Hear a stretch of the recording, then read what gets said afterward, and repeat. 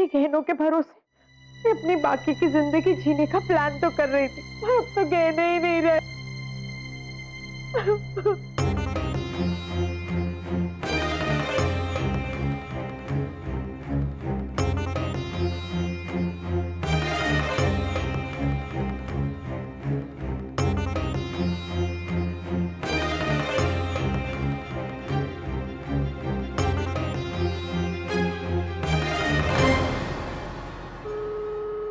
जय श्री कृष्ण धवल जी।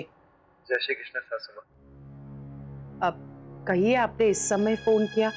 कोई चिंता की बात तो नहीं है ना? चिंता की बात है सासू माँ वो ये है कि आज किंजल ने भाई के ऊपर अपने गहनों की चोरी का इल्ज़ाम लगाया। क्या? और यही नहीं। उन्होंने पुलिस को भी बुलाया ताकि वो भाई को गिरफ़्तार कर सके। ये किंजल तो सुधरने का नाम ही नहीं ले रही है। सासू माँ वो तो तो खुशकिस्मती है कि पुलिस को कहीं पर भी गहने नहीं मिले। नहीं तो वो सच में फई को अरेस्ट करके ले जाते। ऊपर से मैंने किंजल के ऊपर आज बहुत चिल्लाया। आपने बिल्कुल सही किया और अच्छा किया। आप तो मेरा स्वभाव जानती है ना। मैं कभी भी किसी पे चिल्ला के या गुस्से से बात नहीं कर सकता। और किंजल पे तो धवल जी मैं आपके स्वभाव से अच्छी तरह से परिचित हूँ। पर आप मेरी बात ध्यान से सुनिए। परिवर्तन संसार का नियम है। और किसी अच्छे और भले काम के लिए परिवर्तन लाना ये तो बहुत ही अच्छी बात है। नहीं सासू माँ। मैंने ज़िंदगी में आज तक किसी की पेंसिल तक नहीं चुराई है। और यहाँ मैंने मैंने गहने चुराए हैं। वो भी अपनी खुद की पत्नी के। अब मेरे पास एक ही रास्ता है। ये हार। ये हार बेचकर अच्छे खासे पैसे मिल जाएँगे। धवल जी उस वक्त आपके पास एक ही रास्ता था। किंजल को सबक सिखाने के लिए आपने आपने मेरे हाथों तो इतना बड़ा पाप करा दिया।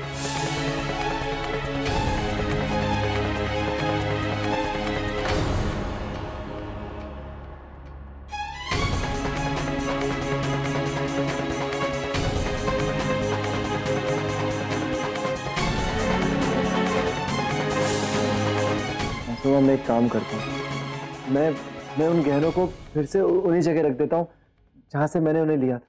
नहीं, धवल जी। बात को समझने की कोशिश कीजिए। जैसा मैंने कहा था, आपने वैसा ही किया है, और कुछ भी गलत नहीं किया है। इसीलिए आप वो गहने फ़िलहाल अपने कब्जे में ही रखिए, और किंजल को इस विषय में कुछ भी मत बताइएगा। और रही बात उर्मिला बहन की तो मैं समझ सकती हूँ। ये जो कुछ भी हुआ, उसकी वजह से उर्मिला बहन काफ़ी दुखी होंगी। मैं उनसे फ़ोन पर बात करूँगी और उन्हें समझा दूँगी।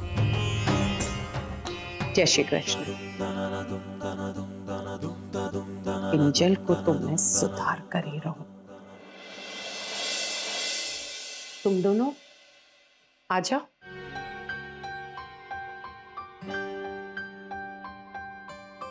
अहम दिख रहा। क्या कर रही है तुम दोनों की बेटियाँ? माँ जी मुझे विद्या की चिंता बिल्कुल भी नहीं है। वो घर संभाल भी लेगी और घर के कामकाज भी कर लेगी। पर मीरा मीरा ने तो आज तक घर के कोई भी काम नहीं किए हैं। इसलिए मुझे उसकी चिंता है। माँ जी मैं जानती हूँ, आप जो कुछ भी कर रही हैं, मीरा के भलाई के लिए कर रही हैं। कहीं ऐसा तो नहीं ना माँ जी कि हम उस पर कुछ ज़्यादा ही सख्ती से पेश आ रहे हैं। मुझे तो ऐसा नहीं लग रहा है।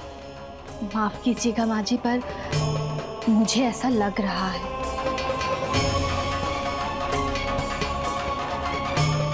माँ जी बच्चे चाहे कुछ भी करें पर आज के जमाने में एक हद से ज़्यादा हमें हमारे विचार उन पर नहीं थोपना चाहिए। हाँ ये सही है कि हमें हमारे विचार ज़बरदस्ती उन पर नहीं थोपने चाहिए। पर ज़िंदगी की सच्चाई तो ये भी है कि आज तुम्हारी बेटी मीरा अपनी मर्ज़ी से घर छोड़कर गई।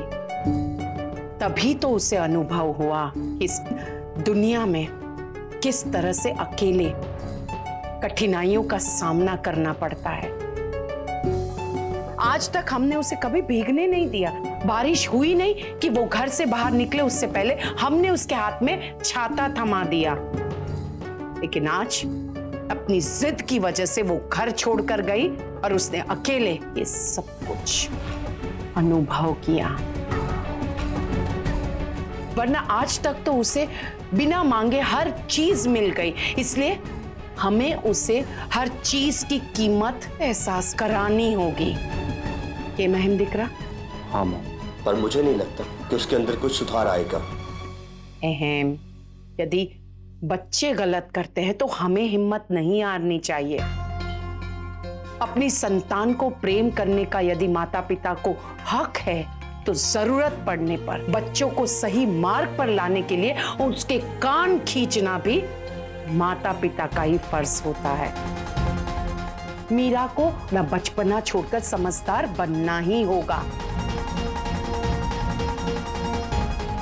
तुम दोनों पर क्या गुजर रही है? एक माता पिता होने के नाते कि मैं अच्छी तरह से महसूस कर रही हूँ। ये समझने का प्रयास करो तुम दोनों कि हम मीरा को ज़िंदगी जीने के लिए सक्षम बना रहे हैं।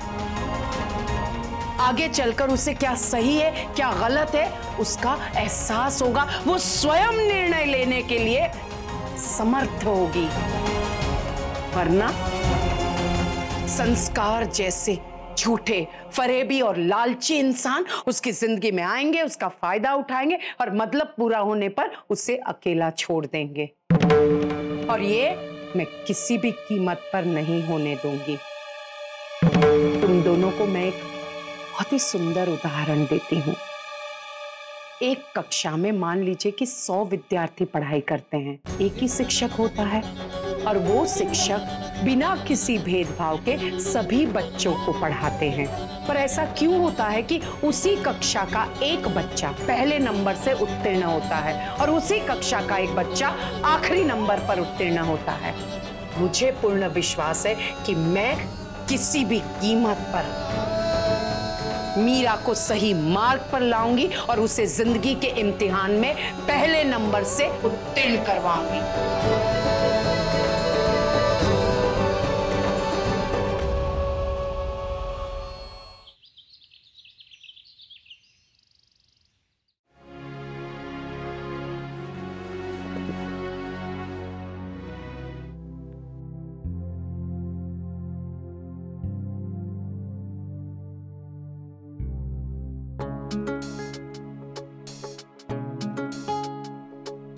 गोभी तुम ऐसी खड़ी रहो।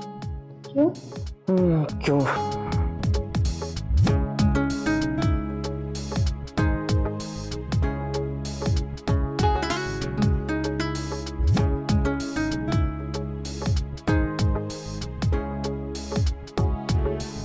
तुम्हें पता है तुम हँसते हो कितनी अच्छी लगती है। ऐसा लगता था जैसे तुमने पिछले कुछ दिनों से हंसना छोड़ ही दिया है। अब हंस दो। ठीक है तुम नहीं हंसती हो तो मैं भी जाकर सो जाता हूँ। नहीं नहीं है जी। गलती हो तो इस गलती को जल्दी से सुधारो मैडम। बस। ये हुई ना बात। अब तुम जो मुझे बताना चाहती हो ऐसे हँसते हुए बताओ। दरअसल अहम जी मैं ये कह रही थी स्माइल स्माइल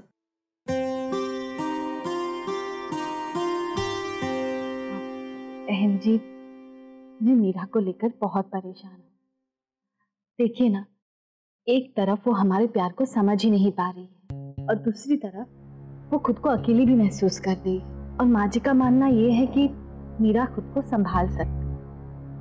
तो मुझे ऐसा लगता है, हम जिस तरीके से उसे सुधारने की कोशिश कर रहे हैं, उसमें हम सफल नहीं हो पाएँगे। मीरा को सुधारने का काम जो मुझे करना चाहिए वो माँ जी कर रही है। मीरा को सुधारने काम सिर्फ़ तुम्हें ही नहीं गोपी बल्कि हम दोनों करना चाहिए था। पिछले दस साल में जो मैंने गलतियाँ की हैं, उसका नतीजा ये निकलेगा कभी मैंने सोचा भी नहीं। इसलिए तो मुझे लगता है मॉम जो कर रही है वो ठीक है। और वैसे भी बहुत सारी ऐसी गलतियाँ हैं जिनको मैं सुधार कर ही रहूँगा।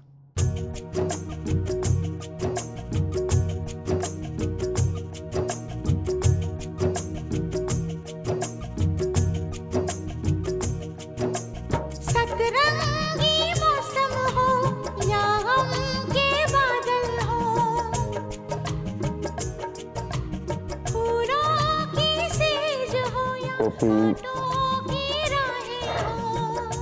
कभी वैसे तुम्हें पता है, इन दस सालों में बहुत कुछ बदला है। अगर कुछ नहीं बदला तो वो है तुम्हारा शर्माने का अंदाज। सच में। साथ निभाना, साथिया। साथ निभाना, साथिया। साथ निभाना।